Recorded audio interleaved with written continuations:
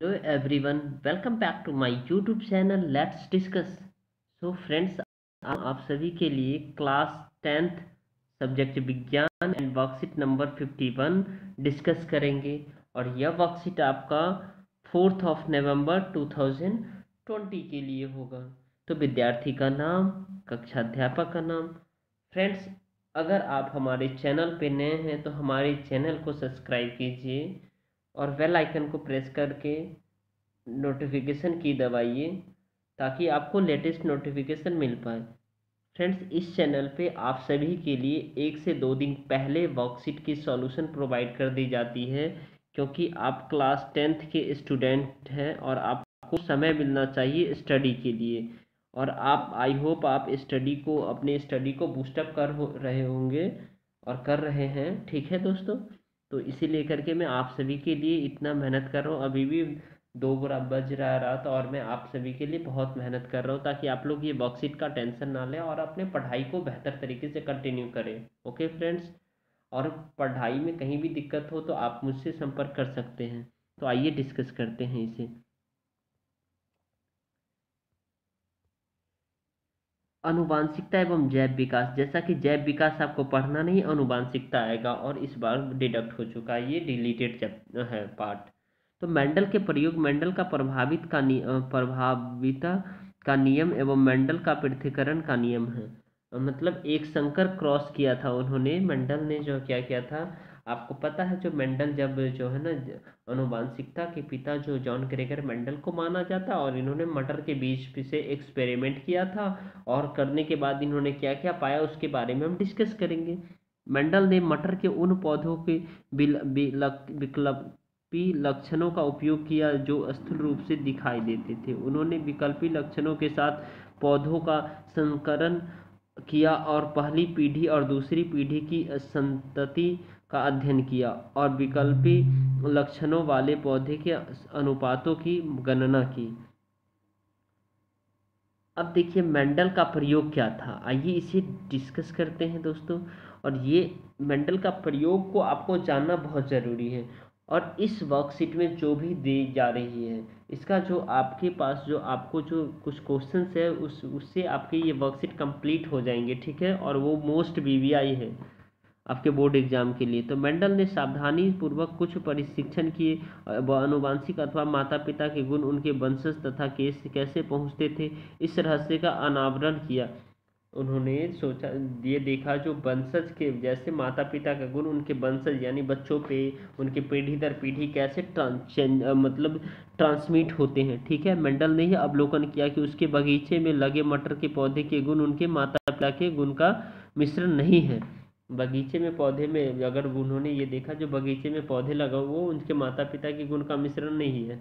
उदाहरण के लिए, एक लंबे पौधे और छोटे पौधे की अगली पीढ़ी के पौधे या लंबे थे या छोटे, उनमें से कोई भी मध्यम कद का नहीं था। इन परिणामों से ने उसे आगे और गहन अध्ययन करने को प्रेरित किया और उसने मटर के पौधे के साथ अपने परीक्षण को करना निश्चय किया और ताकि वह जान पाए कि यह गुण किस प्रकार अगली पीढ़ी तक पहुँचता है। मेंडल ने तीस हज़ार मटर के पौधे पर अगले कुछ वर्षों तक क्या किया?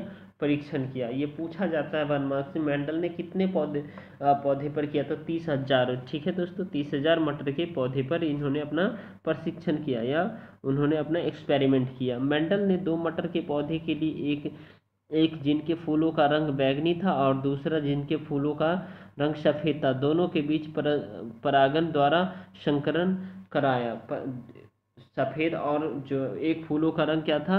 सफ़ेद एक बैगनी। दोनों के बीच क्या पर, परागण के द्वारा किया क्या? उसका संकरण कराया गया। तो अगली पीढ़ी ए वन जनरेशन में सभी पौधे में बैगनी रंग के फूल प्राप्त हुए। देखिए यानी एफ़ वन जनरेशन में बैगनी रंग के फूल प्राप्त हुए।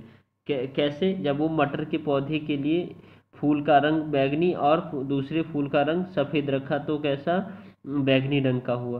परंतु जब उनका संकरण परागन द्वारा कराया गया तो एफ़ टू जे पीढ़ी में लगभग तीनों भाग बैगनी फूलों वाले और एक भाग सफ़ेद फूलों वाले पौधे पाए गए, जिनका लगभग तीन अनुपात वन कहते हैं, एक में हो, था। अब ये गूगल से सोर्स से लिया गया दोस्तों। ये क्या, देखिए, ये जिस एक्सपेरिमेंट कैसे किया गया है? आप गूगल पे भी जाके इसे देख सकते हैं। अब देखिए मेंडल का प्रभाविता का नियम क्या है? ये बहुत इंपॉर्टेंट है। ये आपके एग्ज़ाम में आएँगे। मेंडल द्वारा प्रभावित, प्रभाविता का नियम यह कहता है कि जब, और ये क्वेश्चन आप हमेशा दोस्तों याद रखेंगे मेंडल ने मटर के बीज को ही क्यों चुना? ये मोस्ट वीवीआई क्वेश्चन है। उसको आप हमेशा याद रखेंगे। एग्ज़ाम जान देने से एक दिन पहले भी कर लेंगे, वो हंड्रेड परसेंटेज आएगा जब समरूप जोड़ी में दो गुणसूत्र अलग अलग होते हैं, अर्थात एक प्रभावी होता है तो अन्य अप्रभावी लक्षण होते हैं। परस्पर विरोधी लक्षण वाले पौधे के बीच संकरण करवाया जाता है। तो उनकी संतति में विरोधी लक्षणों में से एक प्रभावी लक्षण प्रदर्शित करता है, वह दूसरा अप्रभावी लक्षण प्रदर्शित नहीं होता वह अप्रभावी लक्षण छिपा रहता है और उसी तरह अगली पीढ़ी में स्थानांतरित हो जाता है। यह प्रभावी लक्षण तभी अपने आप को प्रदर्शित कर पाता है जब वंशज में समान रूप से के दो प्रभावी लक्षण पाए जाते हैं। प्रभावी लक्षण क्या होता है? लक्षण जो अगली पीढ़ी में अपने आप को प्रदर्शित कर पाते हैं। उदाहरण के लिए जैसे गोल बीज, बैगन, रंग के फूल, या अपनी पीढ़ी में क्या करते हैं? अपनी पीढ़ी में अपने आप को प्रदर्शित कर पाते दिखा पाते हैं। अप्रभावी लक्षण क्या होता है? दोस्तों, ये पूछा जाता है वन मार्क्स में। प्रभावी लक्षण क्या होता है? और अप्रभावी लक्षण क्या होता है? तो वह लक्षण जो अपने आप को अगली पीढ़ी में प्रदर्शित नहीं कर पाता है, वो मेंडल का पृथ्वीकरण का नियम क्या है? एक संकर क्रॉस किया था, उन्होंने कैसे किया था? देखिए तो मंडल का पृथकरण का नियम यह कहता कि जब एक जीव अपने गुणों को स्थानांतरित करता है तो उसे के वंशज अपने माता व पिता दोनों से उस गुण का लक्षण एक प्राप्त करता है। मंडल ने यह नियम प्रतिपादित किया था जब उसने देखा कि दो विभिन्न लक्षणों वाले मटर के पौधे में संकरण कराया गया था। अर्थात जो मेंडल जो है ना, क्या हुआ? दो विभिन्न लक्षण वाले मटर के पौधे में जो है ना, क्या किया? संकरण करवाया, ठीक है? और उसमें केवल प्रभावी लक्षण ही प्रदर्शित हुआ था। उसने अगली पीढ़ी में प्रभावी व अप्रभावी दोनों ही प्रकार के लक्षण, यानी थ्री अनुपात वन, जो, जिसको जीनो टाइप कहते हैं, के अनुपात में प्रदर्शित किया था। ओके फ्रेंड्स तो आइए अब इसके से रिलेटेड क्वेश्चन से इसे डिस्कस करते हैं। बहुत ही आसान शब्दों में प्रभावी व अप्रभावी लक्षण क्या होता है? आइए इसे डिस्कस करते हैं। देखिए, कक्षा दस, विज्ञान वर्कशीट नंबर फिफ्टी वन आसान शब्दों में उत्तर हैं ओके फ्रेंड्स अगर हमारे चैनल पर नए हैं तो हमारे चैनल को सब्सक्राइब करें ताकि आपको लेटेस्ट नोटिफिकेशन मिल पाए और आप एक से दो दिन पहले वर्कशीट के सॉल्यूशन करके आप अपनी स्टडी को बेहतर तरीके से कंटिन्यू करते रहें। ठीक है दोस्तों? देखिए, प्रभावी व अप्रभावी लक्षण क्या होते हैं? देखिए, प्रभावी एक प्रभावी लक्षण, वह लक्षण जो मेंडल के संकरण में प्रथम पीढ़ी में अपना प्रभाव दिखाता है, प्रभावी लक्षण होता है। यह सब युग्म जी तथा विषय विषम युग्म जी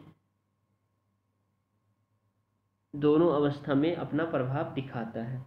अप्रभावी लक्षण होता है दोस्तों। वह लक्षण जो मेंडल के संकरण में प्रथम पीढ़ी में अपना प्रभाव नहीं दिखाता, अप्रभावी लक्षण होता है। और यह केवल विषम विषम युग्म जी अवस्था में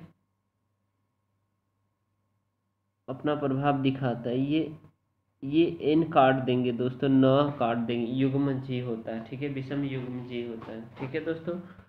अब आपको ले चलते हैं क्वेश्चन नंबर सेकेंड की ओर। क्वेश्चन नंबर सेकेंड यहाँ देखिए, पृथ्वीकरण के नियम को दिखाने के लिए एक संकर क्रॉस का चित्र बनाइए। अब आपको क्या करना है? पृथ्वीकरण के नियम को दिखाने के लिए एक शंकर क्रॉस का चित्र बनाना है। यहाँ आप देख पा रहे हैं, शंकर क्रॉस का चित्र बनाना है। उत्तर आपको दिखा रहे देखिए, ये रहा। ये आपके जो है ना, आपके पास सपोर्ट मटेरियल होगा, उसमें भी दिया हुआ है। तो इससे आपको क्या करना है? एक संकरण मोनोहाइब्रिड और डाईहाइब्रिड जो है ना, इससे इन्होंने कैसे किया था, ठीक है? यहाँ देखिए, लंबा लंबा पौधा है, डबल टी, और छोटा है तो बौना पौधा है, ठीक है? तो इन दोनों के साथ इन्होंने जब किया तो ये पाया बौना और लंबा और बौना पाया। जब इनका, इसका जो इसके साथ किया था लंबा बौना, इसका जब कॉम्बिनेशन जो है ना, दोस्तों, इसका इसके इसका और इसके साथ किया तो ये लंबा बौना, ये भी लंबा तो सब में लंबा बौना आया। यानी वन पीढ़ी में सभी लंबे पौधे थे। पहले पहले ये जो है ना, ये पहले बड़े बड़े टी है, ये सारे लंबे पौधे हैं, ठीक है? और इसमें लंबा पौधा है, इसमें लंबा पौधा इसमें भी लंबा पौधा इसमें बौना पौधा यानी स्मॉल टी टी आ गया, ठीक है दोस्तों? इसको आपको अच्छे से बना लेना है। आई होप आपको समझ में आ रहा होगा। अब हम क्वेश्चन नंबर नेक्स्ट पे चल रहे हैं। क्वेश्चन नंबर अब हम थर्ड डिस्कस करेंगे। क्वेश्चन नंबर थर्ड है, विषम युग्म जी युग्म जी को परिभाषित कीजिए। विषम युग्म जी को परिभाषित कीजिए। तो आइए दोस्तों, इसे परिभाषित करते हैं। विषम युग्म जी। विषम युग्म जी यदि एलील के जोड़ों में दोनों एलील अलग अलग होते हैं तो इसे विषम युग्म जी कहते हैं। जैसे कैपिटल यानी टॉल और बोना, या आर आर या आर वाई वाई वाई। ठीक है दोस्तों? इसको आपको लिखना है। अगर हमारे चैनल पर नहीं तो हमारे चैनल को सब्सक्राइब कीजिए, लाइक कीजिए और बेल आइकन को प्रेस कीजिए ताकि आपको लेटेस्ट नोटिफिकेशन मिल पाए।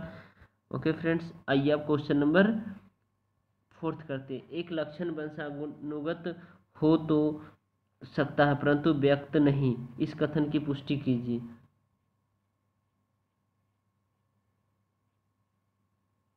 देखिए दोस्तों, एक लक्षण वंशानुगत तो हो सकता है, परंतु व्यक्त नहीं। इस कथन की पुष्टि तो हाँ संभव है कि एक लक्षण वंशानुगत तो हो सकता है, परंतु व्यक्त नहीं किया जा सकता। उदाहरण के लिए, मेंडल ने शुद्ध लंबे और शुद्ध बौने मटर के पौधे का चयन कर संकरण कराया था, तथा प्रथम पीढ़ी ए वन प्राप्त की। प्रथम पीढ़ी में सभी पौधे लंबे थे, जबकि द्वितीय पीढ़ी में लंबे और बौने पौधे का अनुपात लगभग थ्री, अनुपात वन था। और दू, दूसरा लक्षण को लक्षण ये पीढ़ी है। दूसरा लक्षण जो है ना दोस्तों एफ़ टू है ये। क्या है?